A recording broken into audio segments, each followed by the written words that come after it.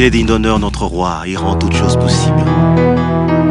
Un Dieu merveilleux qui se sert de nos insuffisances et de nos imperfections humaines pour nous accorder la grâce de fleurir dans sa gloire et dans sa majesté. Nos vies d'échecs deviennent des vies de témoignage à cause de sa main puissante, Dieu.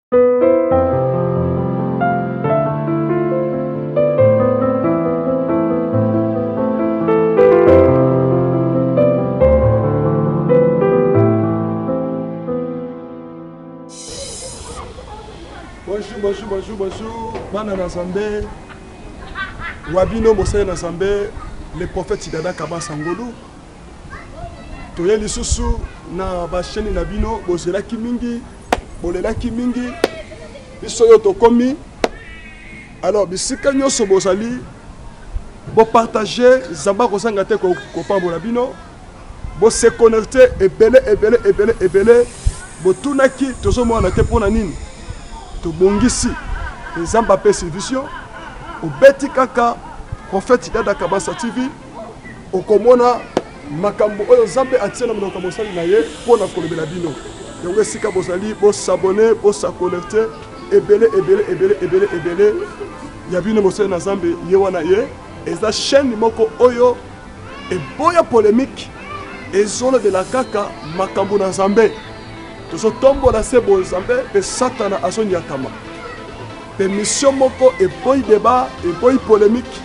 Tozotombola se nkombo ya Nzambe. Satana aza na, na se asonyatama. Yango yo oyo ozolanda, kabola image, to partager, bosabone ebele, kola kozanga te kopambola bino. Eza chaîne ya bana ya Nzambe. Jésus-Christ alingi kozonga. Ndapesi vision oyo.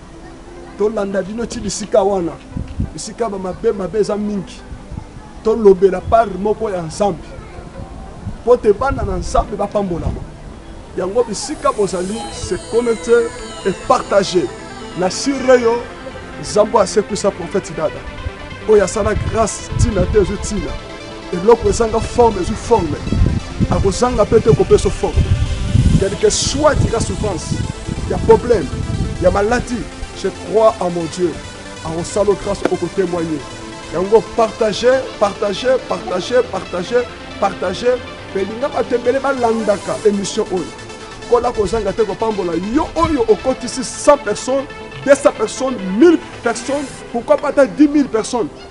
bakoma kolanda émission oyo mpo yo nde olobeli bango kola kozanga te kopambola yo yango wana napesi bino nyonso bambote mokili mobimo monde entier toza wana mpo na bino totangi pays te nayebi ke bolanda nga bapays deja ebele mikolo ebele bomoni nga te me toye sikoyo na chaîne okolo apamboli biso chaîne ya biso moko espace ya biso moko ya bana nzambe oyo mokili mobimba bisika bozali bokolanda biso ya kobombana te na batelevizio na bino pwasa e message eye mpo moto baneglija lokola davidi na kati esobe samuel aye kotya mafuta alingi nabimisa yo okotatolaka ezamba aza grand zamba aza monene parce que nga mpe samuel natangamaka te nga mpe samuel natangamaka te yango naye mpe mpo na davidi moko mpe Oyo pa tangamaki pe te aza na kati esobe nalingi na bimiso na kati esobe na tsao mafuta parce que ozo bunda na Goliath moko kala mingi te bokolanda ba prière bokolanda ba émission bokolanda ba intercession ya kobuka bikeko oyo tobengaka ba prière de tilibo esui esui sadi pindola pindola buka obuki nyata onyati Sadi nyonso bokozala quelque soit Goliath aza molai nini, Samuel esa aye kotya mafuta, Goliath azala kokweya na makasi na yo te, mais na makasi ya Nzambe ya prophète Dada Jesus Christ de Nazareth. Yango tika ngolu epesamela yo bisika ozali. S'abonner. Merci. Bye bye.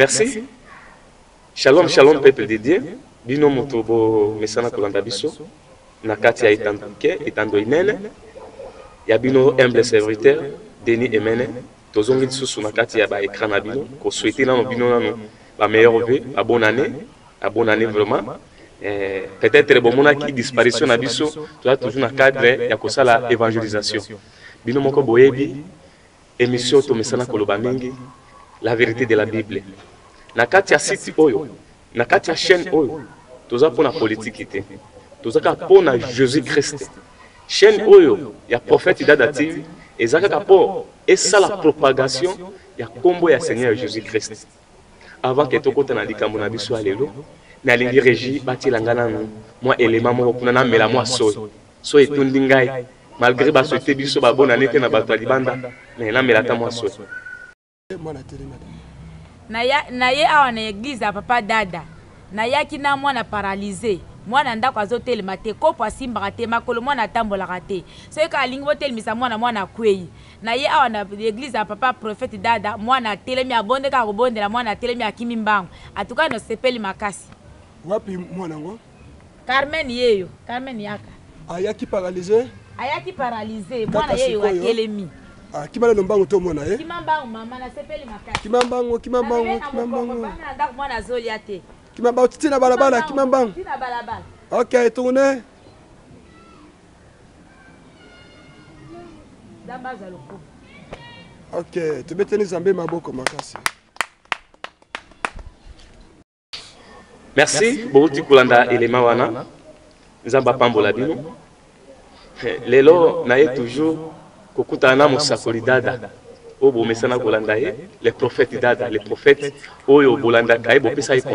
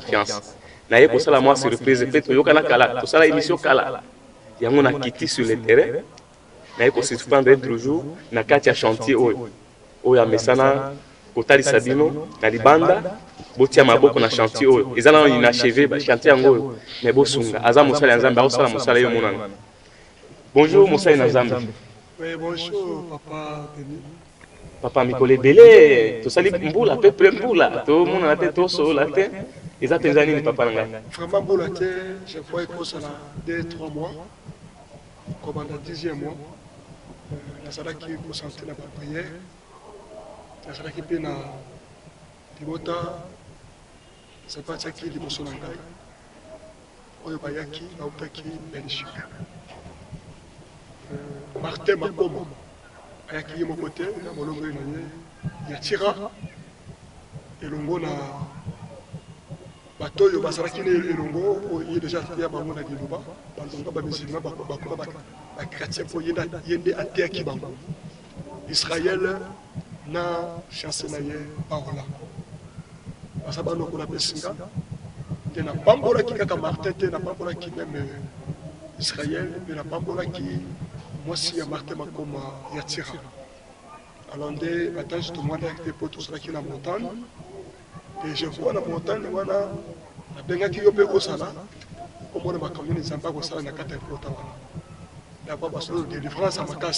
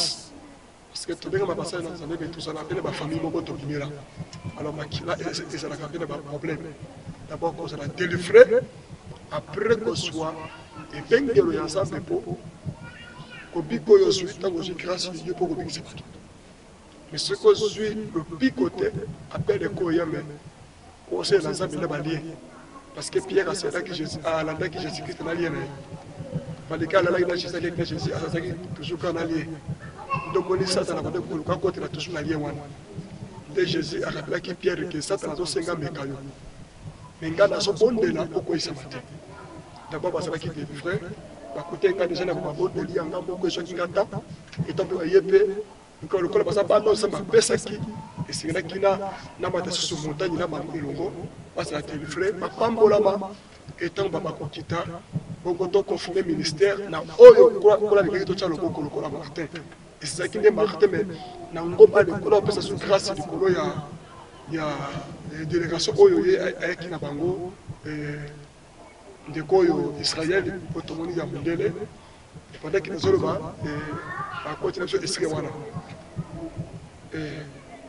alipisa mpo nalingi nakota likambo oyo na lombango bato bakoki kotuna ndenge nini martin makoma akomi apotre mbala moko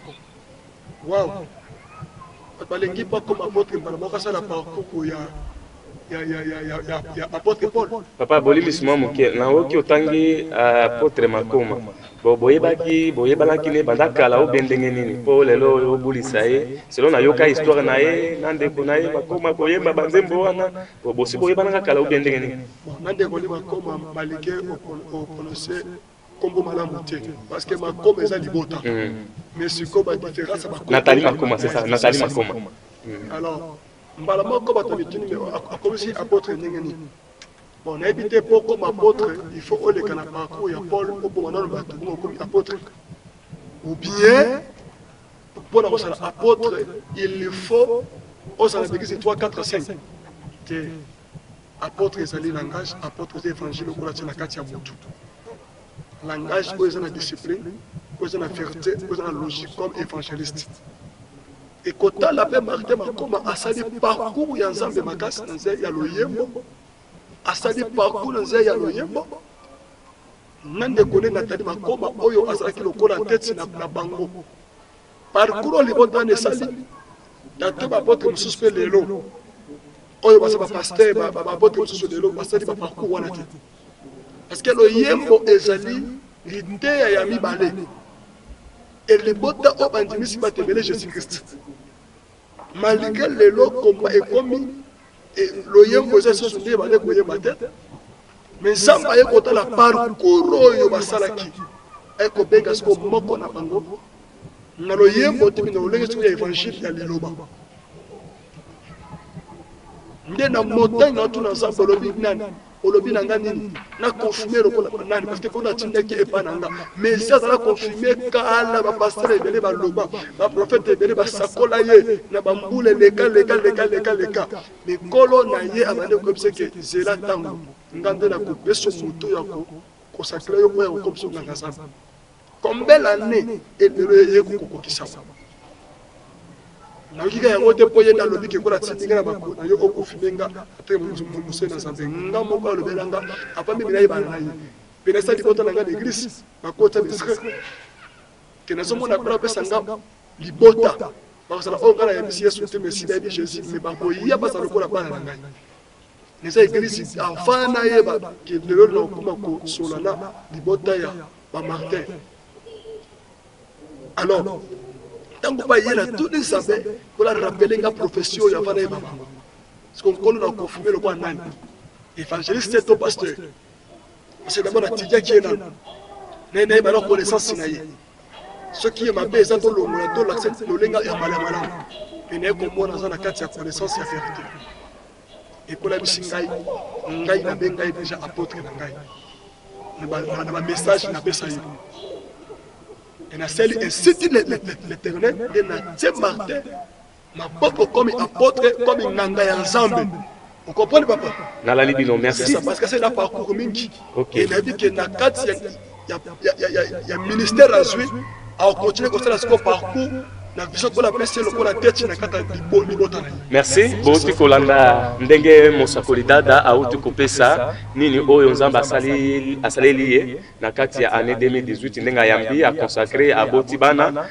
na kati ya mbula 2018 mais teme oyo tolingi tolobela yango lelo topartage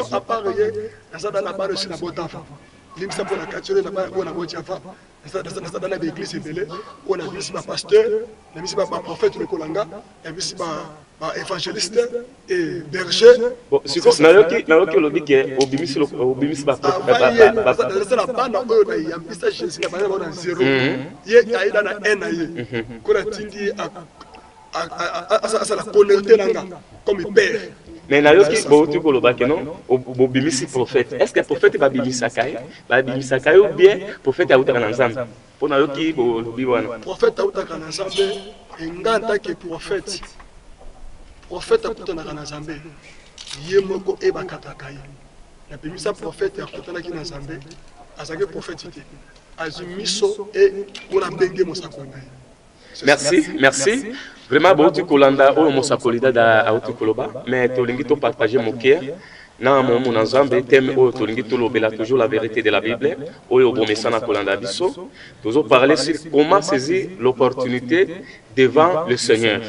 nalingi tokota mwa moke puisque ebele balobaki 2018 eza année ya nakobala 2018 nakosala mosala 2018 mais tosisi 2018 yango ebele naoyoka ba 3 3 jeune sœur moko bona ba frère moko ah nalembi makambo yango église kosambela balakaki biso epa mosali na nzambe abike tokopambwama mais namoni libala te namoni mpe mosala te ah mosana alobi mpe ah Nga pe na boyi makambo wana yango na lingi na to yeba penza au juste eza nini yango moni na kiti sur le terrain na kuta na mosakoli dada po atalisa biso comment saisir l'opportunité devant le Seigneur mosakoli dada talisa na peuple na yoka kesa linga pe passe na bande ko bazo lela lela ndenge nini bako ko saisir opportunité liboso ya Nzambe Merci na mekola pe kosa na boyembi miko na zema nzembo moko oyo nazo meka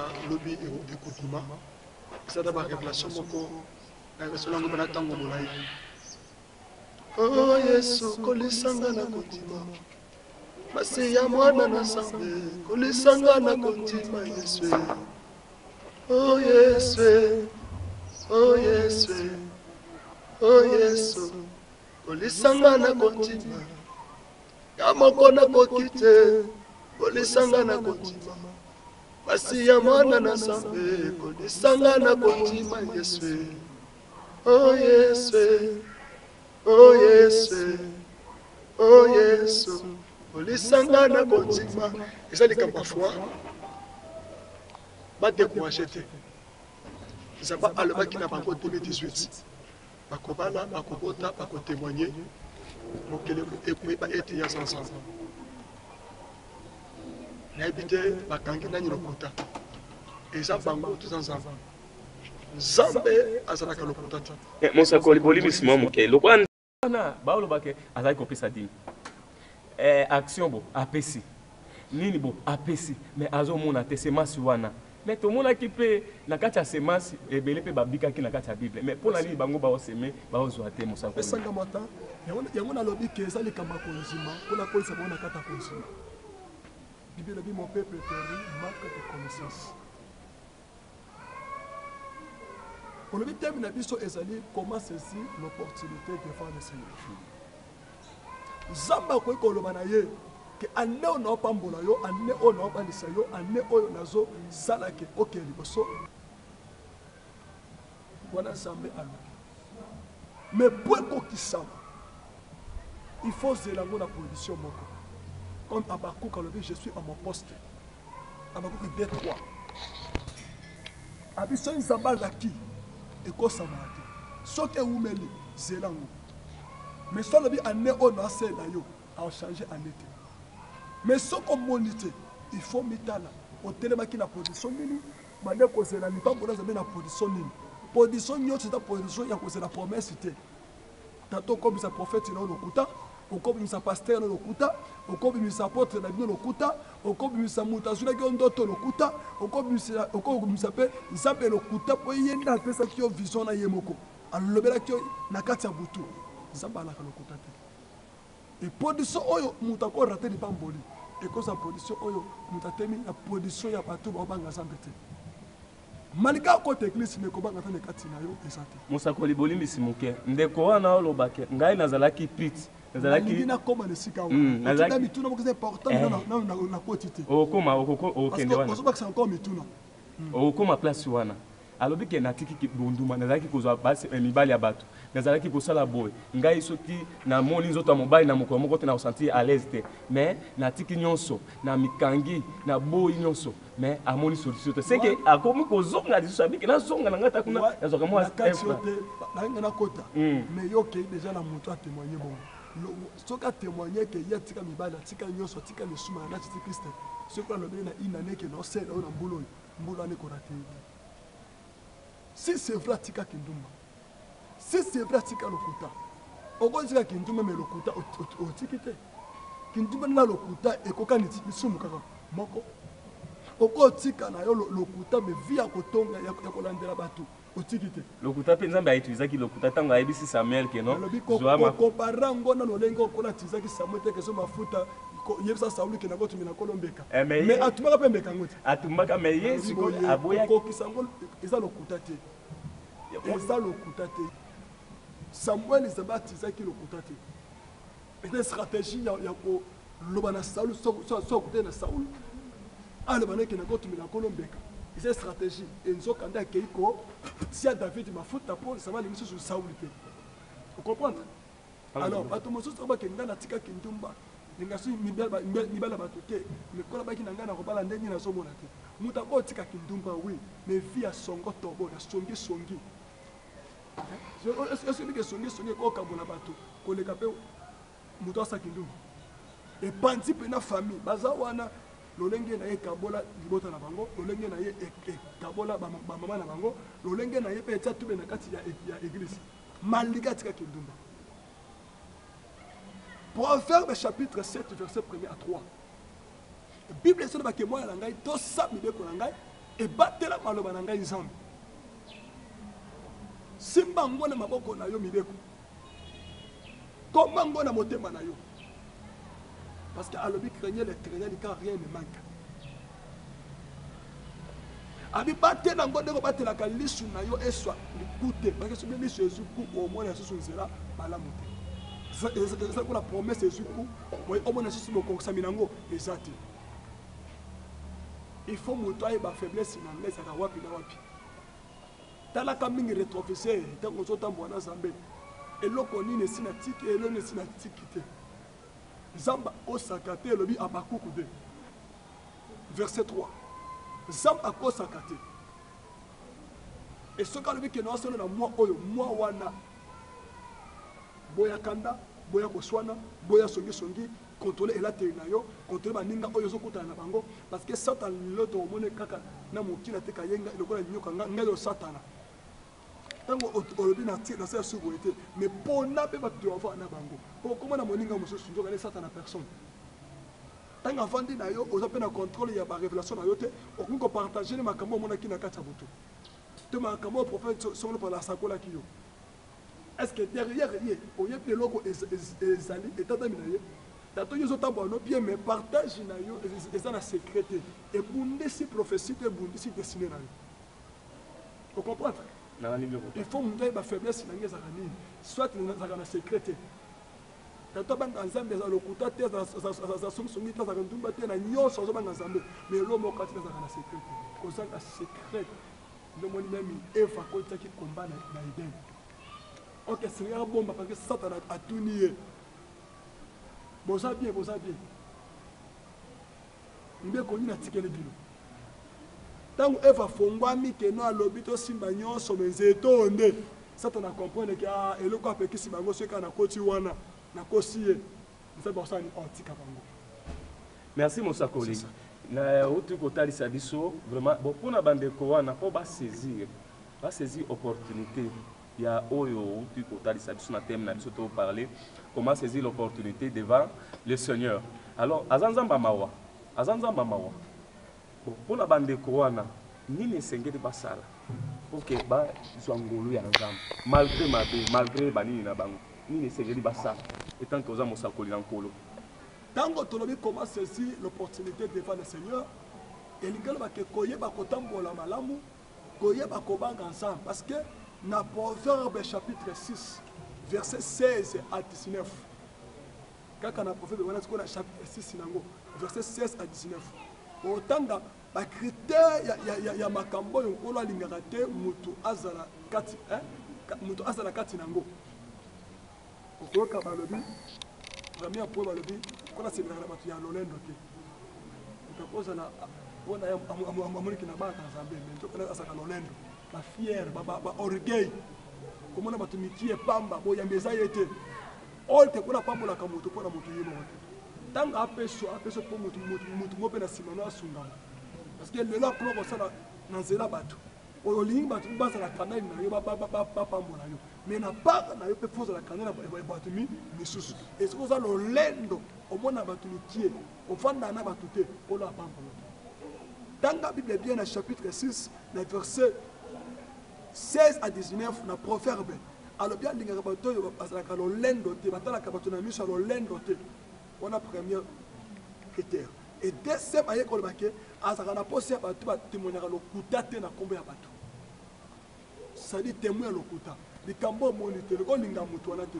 otemoigne elomoko mabe mpo na moto wana ondeke osalaki sadi bayina moto wana mpo na moto alingi bajuge te Na jijaka pe tout. Ko na sali nanu mutu te azala jija mutu sela mokolo wana le jour J ba komi alobi bik mi bikisa nanu nzete ezua na lisu na yo ya mboka etobolo lisu esika obikisa mutu mosusu troisieme point aya ye oloba alingaka bato bazalaka na esprit ya ko tatwa lokuta te po na ba kombo ya bato et quatrieme point alobi alingaka bato bazalaka songi songi te songi songi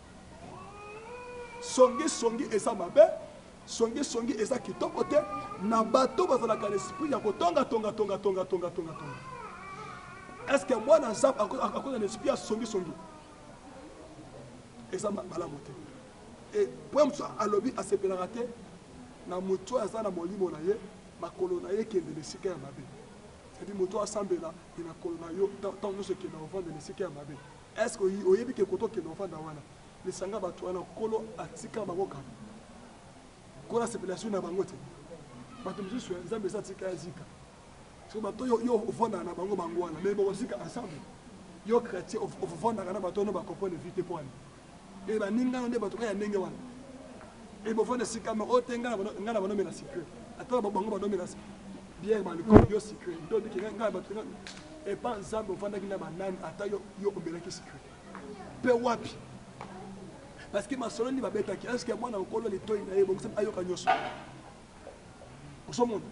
Alors, mpo bazala beni, eza mbula moko ya kotala, nakotelema ndenge nini liboso na Nzambe, nakofanda na nani, et nakofanda esika nini, nakokota wapi, nini nakosala te. Mpe eboyi kokanisela mutu mabe makanisi. Mais merci mosakoli olobi oyo vraiment eza très capital alors mais eglise eza na posa ya batu wana etant que boza leader boza ba oza representant ya communaute na bino Alors sikoyo eglise eza na posa yango po bible oyo osimbi wana ezo loba que non boya kaka ndenge bozali sikoyo na batu wana baye ba bongwani mais malgre ba defaut na bango nini ekosala que non mua ba defaut wana esala nini esila papa na ngai. Olobi baye mais ba bongwani non ba bongwani te mais baye bako bongwana tango parole ya boye ezo komela bango Nzambe alingaka mutu na lisumu na ye. Mais oyo po nasaleli ye eleki oyo ye azoluka po ebele bakufi a participe na ba matanga ya batu ebele ye afuti nzambe nini po atikala e masumu nini batu wana basali po bakufa ye bolamu nini asali po atikala elingi aloba ke nzambe aotiki envie pamba te po alingi ye siko tankola alingi yo na badefo na yo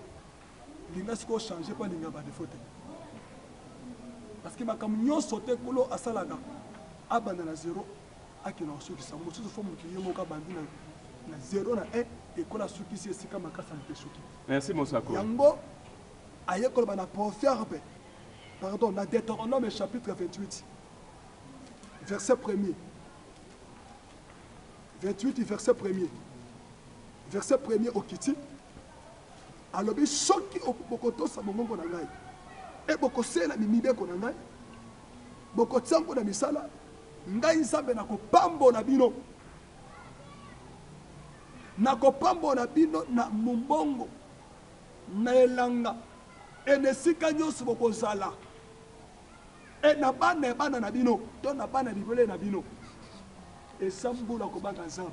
2019 okola yebisi nga nayebisa mutu tout oyo aza chretien, mutu tout alandaka prophète Dada, abengaka nga nasambelaka Nzambe alobi nayebisa ye eza mbula ya stabilite. Mais po opepe stabilite yango il faut oluka o saisir opportunite. Na lolenge nini? Na kobanga Nzambe. Craignez Dieu car rien ne manque eza mbula omitala nazalaka na bolingo na kweli. Merci mosakoli. Olamuka mpe na prière. Eza bongo mosakoli. Merci. Na kanisi olobi eloko moko na makambo ya surtout comment eh, saisir l'opportunité devant eh, l'Éternel ou devant le Seigneur. Mais natali na Bible, natangaki passage moko na Actes des Apôtres chapitre 9. Okiti mais nao yoka mutu moko oyo ba bengi ye Saul azalaki persecuteur ya ba chretiens mais un moment donne na mabe naye mais Nzambe abengi ye apesi ye pe mission akende kosala bon sikoyo na marque ya batu wana baza pe na kati ya eglise lokola prenons l'exemple oyo nawuti kopesa bino wana ya basi ya ndumba wana sikoyo eeh sikoyo pona bango. Mais tango ako comprendre a changaki akomaki enseignant mais azalaki afungomi te.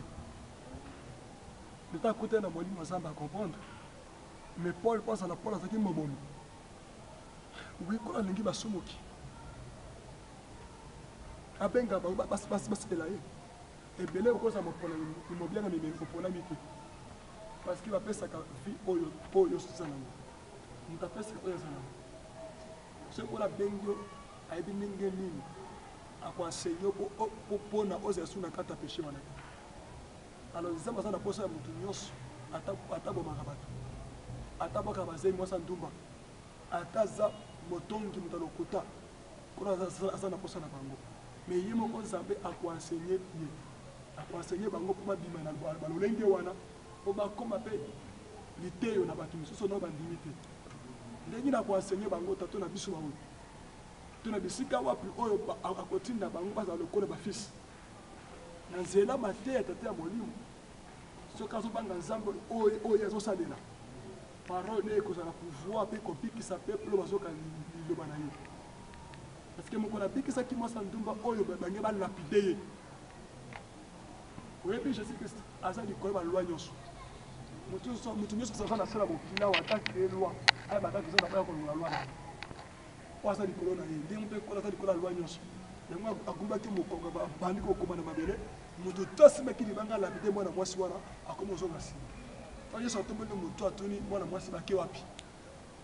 Abebisi mwana mwasi, Nabikisi yo, ekozongela lisusu te. Nautaki na adultère. Adultère eza different na impudicite. Mais ntango abikisi, ayebisi ye nini? Kozongela lisusu te.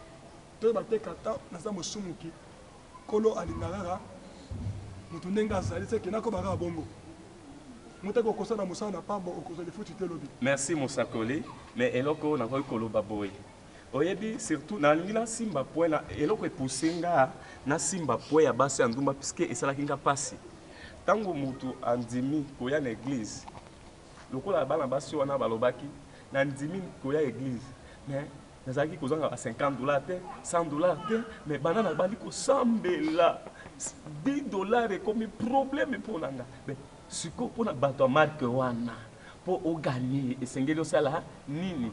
Oyebi satana tango oza na molimo ya Nzambe te oza lokola soso oyo batie na singa moto atie na singa il faut azwa charge na ye abwakela ke biloko ya kolia ntango nyonso alia na facilite mpo azwa likanisi ya kotambola mosika te Ndenge bapagano mingi bazali, baza lokola bato oyo Satana atye na basinga. Ayibi na pete, azwi mpe na pete, na jema asali, na cope asali, epesani na bango peche, mais azwi na pete. Aza lokola soso batye na singa, mokolo balinga babobola ye. Obstacle moko te ekobikisa ye. Batikeli ba facilite po ayeba te ke Nzambe azalaka. Parce que ebele bakanisaka ke bazangi kaka nde faut basambela. Nzoka eza bongo te. Makommi elobi cherchez premierement le royaume des cieux. Sikoyo tango mutu aye epa na Zambe, aza lokola mutu alongwe na sima. Satana akotika lisusu te azwa na pete. Akolinga a combattre ye po atalisa ye difference tango azalaki na bozambe te, nini abandaki kozwa.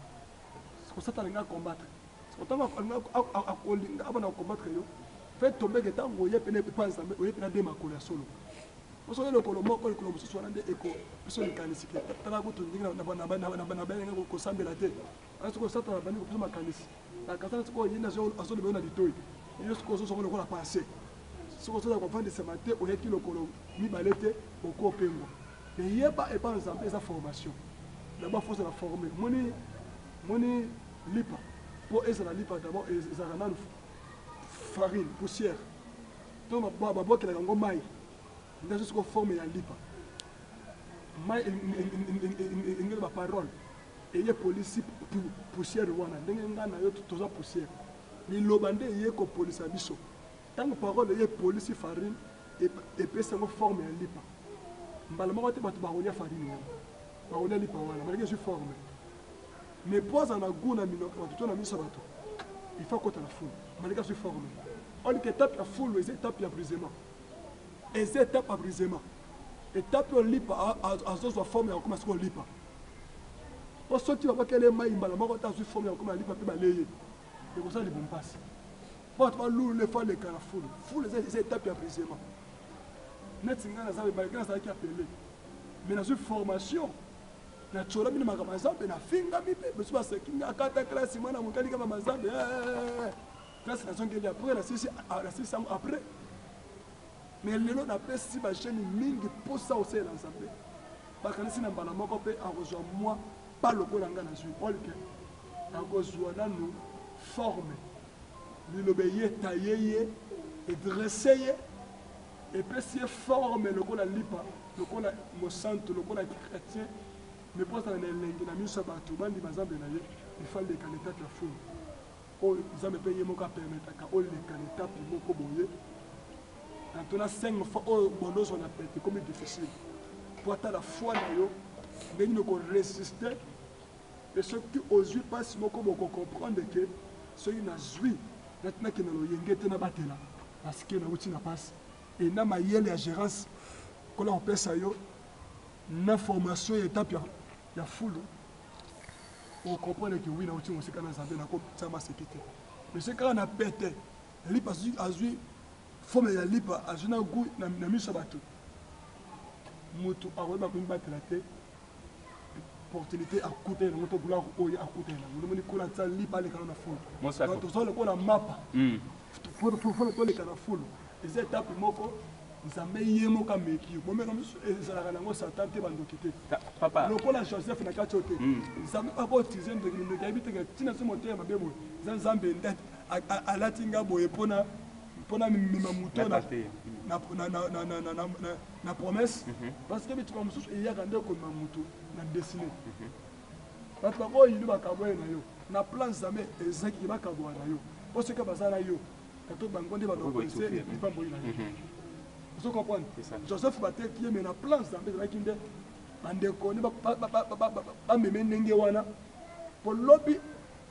Akende ko komona bopambolami na mabele oyo Nkolo abongisaki mpo na ye. Mosakoli, c'est ça, nakoki koloba boye, olobi yo bino bozuaki forme, forme tozuaki na formation tout conso, mais formation ya bino eza different na ye, parce que ye awuti na monde wana hein, ya ambiance, mais bino dès le bas age na bomuana na bino bobandaki dejà ko songer que non nasalela Nzambe, c'est different, parce que na ye na bino eza different, alors mpo na ko kobatela koyamba na ye etant que ozali visionnaire pona kobatela eyamba ya batu wana ya marque wana ezala kuluna ezala ya ba bandi tutututu so pona kobatela boyambi na bango alors esengeli osala nini? Oui ba misusu na plan wana akota na serviteur te ti lelo mais mosusu pe fulu na ye ekozala different na ya basali na zando hein biso tanto fulu wana moto ezali makasi pona pona ezwa forme ya ko dresser baye baza liboso na nga lelo O comprendre?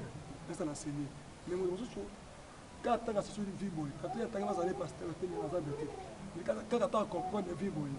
Malgre na tango moko boye kola koka kola ko promettre ye kaka aleka mwa mwa etat moko boye kaka po akola esi na bolingo.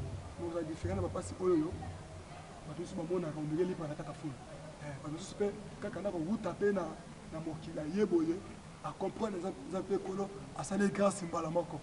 Eza wana eza ministère eza makambo na zambe et batu mususu kola kolinga te alekisi na etape moko boye akolinga te po ayebi ke soki nalekisi ye boye akobungisa kondima na ye lokola awuti na moyibi na kuluna na kindumba abongwani aye epa na nga na wumisa te napesa ye libala c'est à dire nzambe a favoriser ye mais tangu kola a favoriser ye po ebunga te il faut azala seigneur Merci mosakoli nalali bino merci. Po azongela elole likanisi ya kala te il faut azala enseigne. Merci na banza que bolandi biso na bokebi partout dans le monde mais nayebi conseil nini okoki kopesa ya suka na ba oyo baolanda biso na Belgique na Rome partout dans le monde entier nini okoki koloba na mwana lombangu mpenza ngonga eza te tokomi koshite mosakoli na Nzambe. Eloko moko nakoloba likolo nazwi manzembo oyo. Ngai nakobungisa te elikya na ngai, nazozela yo e Yesu, nazozela yo, nakobungisa yo ei motema, motema na ngai, batela kimia, elonga eza ya yo ei motema o, motema na ngai, batela kimia, elonga eza ya yo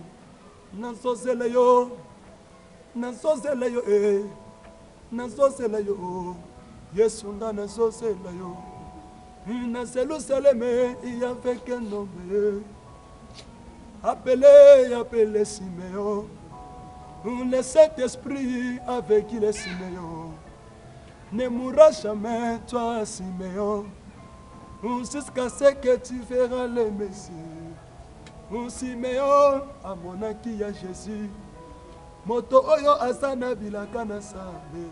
Kola mpo na bandeko bayeba nzembo wana. Nayebisi Jesus nakobungisa elikya te, nazozela yo, nazozela yo, motema na nga batela kimia. L'homme qu'on appelle Jesus est capable ya kokokisa bosenga ya motema. Yango nayebisi moto, moto nyonso azolanda nga, mama, papa, ndeko mwasi, mobali,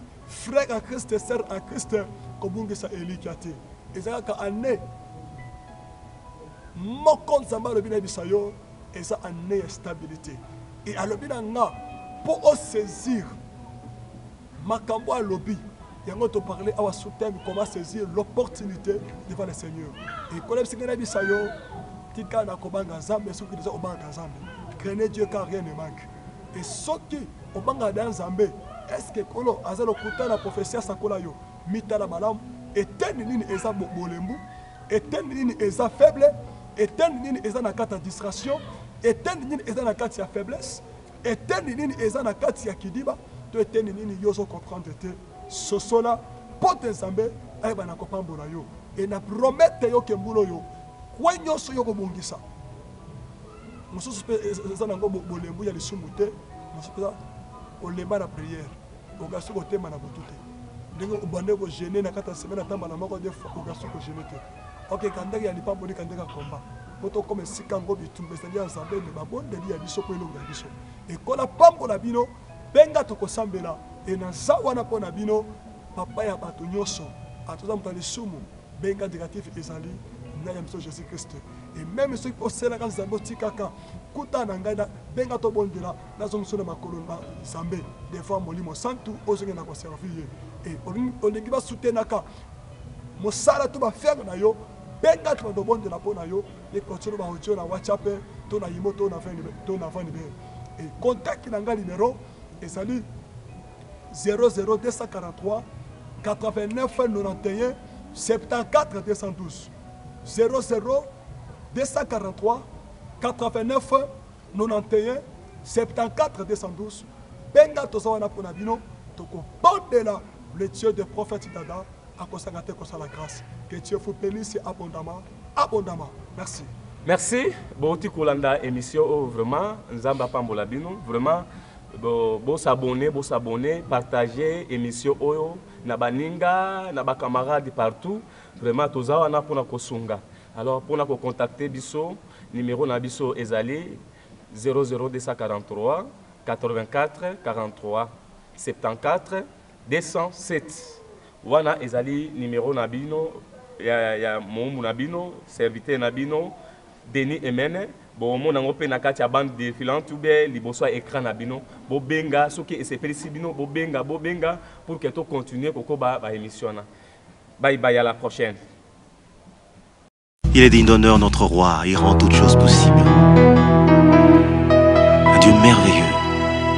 se sert de nos insuffisances et de nos imperfections humaines pour nous accorder la grâce de fleurir dans sa gloire et dans sa majesté. Nos vies d'échecs deviennent des vies de témoignage à cause de sa main puissante.